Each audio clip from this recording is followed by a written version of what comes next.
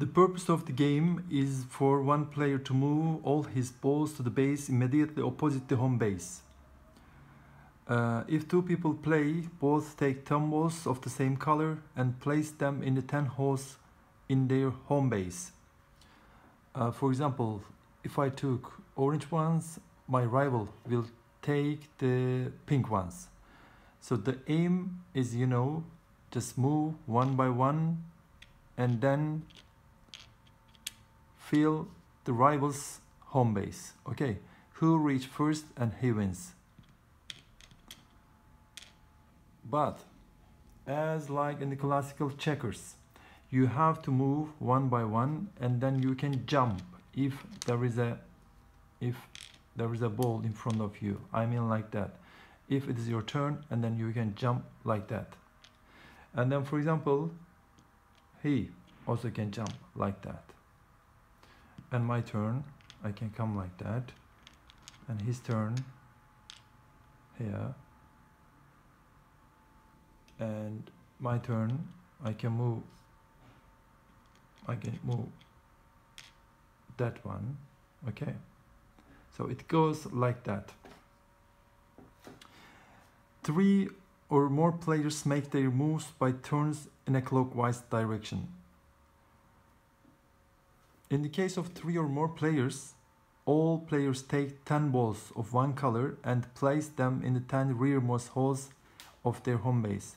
Three players take alternate bases all opposite an empty base. Four or more players can choose any start point as base.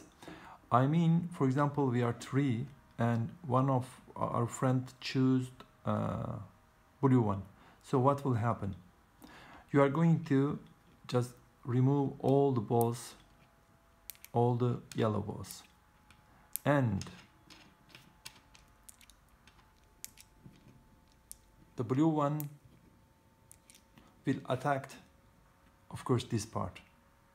If you are 4 there's no problem. They're going to be opposite. If you are 5 again you are going to just remove uh, the colors opposite of that color uh, but and also if you are 6 there's no problem again. The balls can move along the lines in any direction. Only one ball can be moved during each turn but the ball can be moved as far as the jumping opportunities allow. I mean, for example, there's a position like that. This ball can jump, can jump here, and then here, and then here at once. It's a popular strategy to place some balls to form a ladder which other balls can use to jump towards the goal like that.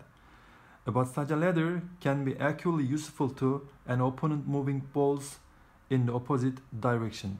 I mean, think that your rival is here and then his turn and he can also move, jump like that and like that.